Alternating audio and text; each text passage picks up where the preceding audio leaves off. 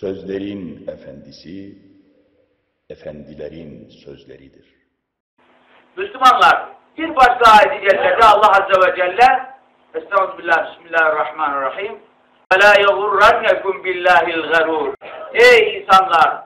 Sakın ha! Sizi garur olan, çok namutenayi, son derece aldatıcı olan şey, varlık neyse o, o sizi sakın sakın Allah ile aldatmasın.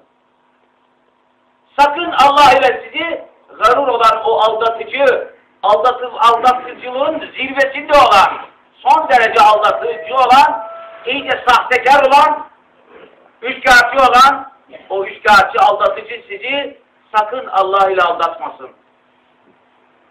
Müslümanlar şu noktada birkaç kelime sarf etmek istiyorum. Allah ile aldanmak nasıl olur? Tabii ki kanunlar, kanunları vaz eden, kanunları icat edenlerin iradesi düşündükleri doğrultusunda anlaşılır. Siz kanunları kafanıza göre anlarsanız, uygulamaya geçerseniz ben böyle anladım diye, benim kafam bunu böyle anlıyor. Bence bu, bu manaya gelir diye anlar da, icabına göre hayatınızı sürdürürseniz, onları uygularsanız, kanunu koyan sizin anlayışınıza hiç bakmaz. Onu, o kanunu senin nasıl anladığın değil, benim nasıl anlayıp da, nasıl bilip de vaz ettiğim mühimdir der, kanuna uymadığınız takdirde gereği kadar sizi cezalandırır. Gözünüzün yaşına bakmaz kanun sahibi. Benim aklım, benim fikrim, benim kültürüm, benim düşüncem, benim anlayışım bunun böyle anlaşılmasını iktiza etti.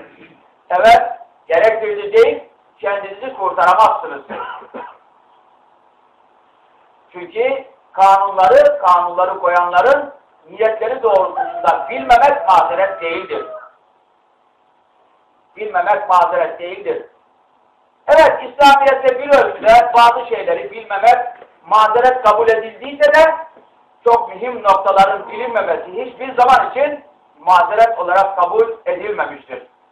Dolayısıyla şu ayet-i celileleri gene ey insanlar kerim olan Rabbinle seni kim aldattı ayet-i celilesini gene o ayet-i celilesinin sahibinin anladığı, murad ettiği doğrultuda anlamaya mecburuz. Vakittir beşer kendi kanunlarını bu şekilde önemsiyorsa, basir bir insanoğlu icat ettiği kanunların bu kadar evet gelinmezliğini, parçalanmazlığını kabul ediyor, istiyorsa, talep ediyorsa, gereğine yani bunun gereğince insanları icabında cezalandırıyorsa, kainatın haliki olan Allah Azze ve Celle kendi sözlerinin kendi muradına muradı doğrultusunda anlaşılmamasını hiçbir şekilde kabul etmez. Allah gafurdur. Allah rahimdir. Ama unutmayalım. Allah azabı da katlanılmaz derecede şiddetlidir. Benim kullarıma haber ver ey Resulüm sallallahu aleyhi ve sellem. Benim çok bağışlayıcı, çok merhamet edici, çok affedici benim. Ama azabım da dayanılmaz bir azaptır. Onu da haber ver. Hemen dibinde. Evet Allah gafurdur. Allah bağışlayıcıdır. Allah merhamet edicidir. Ama azabı, azabı da elimdir. Dayanılmaz bir azaptır. Evet kendi ayetlerimize gelecek olursak bizi Allah ile insanlar nasıl aldatır? Bir, der ki ey insan yahut kendi kendinize dersiniz. Nefsiniz içinizden size seslenir. Ey insan Allah gafurdur. Allah rahimdir. Allah merhamet edicidir. Kullarına hiç böyle şey yapar mı? Azap eder mi? Çok merhametlidir. O çok bağışlayıcıdır. O kadar bağışlayıcıdır ki kıyamet gününde evet Allah'ın affını böyle gözetleyen insanların içerisinde varlıkların arasında şeytan bile ümit var olacak. Ümitlenecek. Acaba Allah bu kadar mağfiret ediyor, bu kadar bağışlıyor, Allah'ın mağfiretinden bana düşen bir nasip olur mu diye ümit var olacak, ümitlenecek. Bu kadar büyük mağfiret sahibi, bağışlayıcı olan Allah'ımız var Celle Celaluhu. Öyleyse, öyleyse sen istediğin gibi çal, istediğin gibi oyna, istediğin gibi bir hayat, kendi kafan, kendi aklın, kendi düşüncen doğrultusunda takıl. Yaşa hayatını. Allah gafurdur, Allah rahimdir. Evet, Allah bağışlayıcıdır. İşte işte bu Allah ile aldatmaktır. Allah'ın mağfiretiyle aldatmaktır. Allah ile insanları sapıtmaktır, saptırmaktır. Saptıran kimdir? Bir ayet-i cellenin tefsirinde sakın garur olan, çok son derece aldatıcı olan sizi Allah ile aldatmasın. Bunun tefsirinde alimlerimiz değişik şekillerde izahlar yaparken evet aldatıcı olan şeytandır diyor.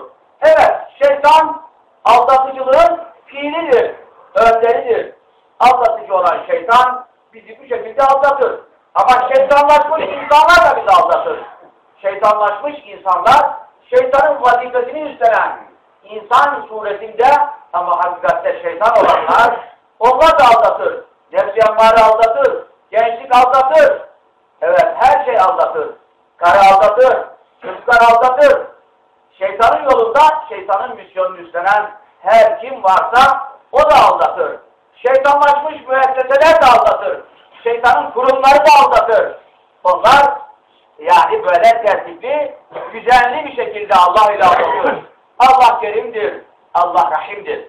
Evet Allah kerimdir, Allah rahimdir ama Allah'ın azabı dayanılmazdır. Allah'ın azabı elimdir. Onu da unutmamak lazım. Evet gençliğimize, fırsatlarımıza, kuvvetimize, ne bileyim e, bir takım imkanlarımıza bakarak şeytan bunlarla bizi aldatmasın. Nefsi ammare içimizdeki o öz benliğimiz bizi bunlarla aldatmasın. Çevremizdeki şeytanlaşmış kimseler bizi aldatmasın. darussilah.com